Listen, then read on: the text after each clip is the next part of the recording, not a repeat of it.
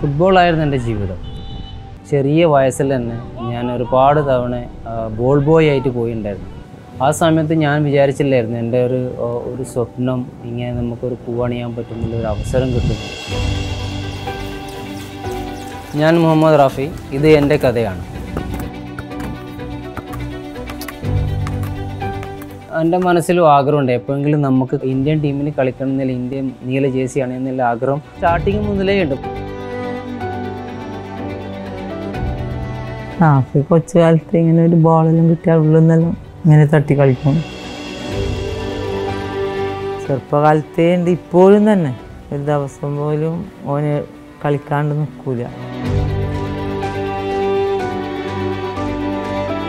അതൊക്കെ അതിൽ ഒരു ഓട് വെച്ച ചെറിയൊരു കുടിലാണ്. നാടൻ പ്രദേശം അത്. കറണ്ടില്ല വെള്ളമില്ല.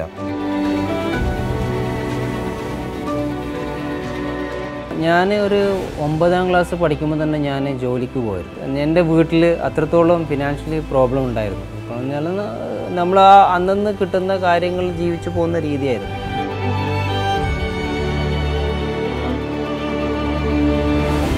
ഞാൻ എന്റെ സീനിയറായുള്ള ആൾക്കാരെ വീട്ടിൽ പോയിട്ട് അവരിട്ട ബൂട്ട് കീറിയിട്ടുണ്ടാവും. ആ കീറിയതിനെ ഞാൻ എടുത്ത് കൊണ്ടുപോയി സ്റ്റിച്ച് ചെയ്തിട്ട് വേണം എനിക്കത് എടുത്തിട്ട് വേണം കളിക്കാൻ പോകാൻ. ഏകദേശമുള്ള എല്ലാ പണികളും ഞാൻ ചെയ്തായിരുന്നു. പെയിന്റിന്റെ പണി ചെയ്തായിരുന്നു ഹോട്ടൽ ഫീൽഡ് എടുത്ത് ഡ്രൈവർ ക്യാബിളിന്റെ പണി എല്ലാ എല്ലാ എ ടു സെറ്റ് പണി ഞാൻ എന്റെ ചെറിയ പ്രായത്തിൽ തന്നെ ചെയ്തിട്ടുണ്ടായിരുന്നു. ഞാൻ ചില ദിവസങ്ങളിൽ വെറും നാരങ്ങ വെള്ളത്തിന് മാത്രം ഞാൻ കളിക്കാൻ പോയ ദിവസമൊക്കെ ഉണ്ട് എന്റെ മുമ്പിൽ എനിക്ക് രണ്ട് ചോയ്സാണ് ഉണ്ടായത് ആ സമയത്ത്. ഒന്നില്ലെങ്കിൽ ഞാൻ ഫുട്ബോൾ പൂർണമായി നിർത്തി ഒരു ജോലിക്ക് പോയി ഉപ്പാന്റെ രീതിയിൽ നല്ല ഒരു ദുബായിൽ പോയി എന്തൊക്കെ ബിസിനസ്സോ കാര്യങ്ങളോ ചെയ്യുക ഇല്ലെങ്കിൽ ഫുട്ബോൾ കണ്ടിന്യൂ ആയിട്ട് കൊണ്ടുപോകാം നമ്മൾ സപ്പോർട്ട് ചെയ്യും. ഓന് ഇഷ്ടമായത് കൊണ്ട് പിന്നെ അതിനെ വിട്ടു ഓന് അതിലേക്ക് തന്നെ.